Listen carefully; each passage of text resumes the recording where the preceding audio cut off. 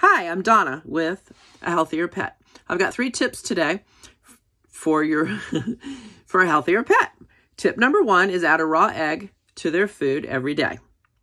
This will greatly increase the vitamin content and nutrition for your dog. If you're not comfortable with a raw egg, you can go ahead and soft poach, sunny side up, steam basted, and um, you'll really notice in their coat and just their general health.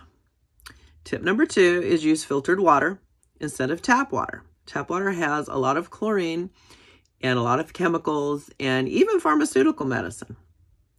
Tip number three is be really careful about what air fresheners and scents you use in your house. They're highly toxic. A good alternative is to use essential oil. I really like the brand Now, and you can get a diffuser and run that in your home for a fresh scent. See you next time.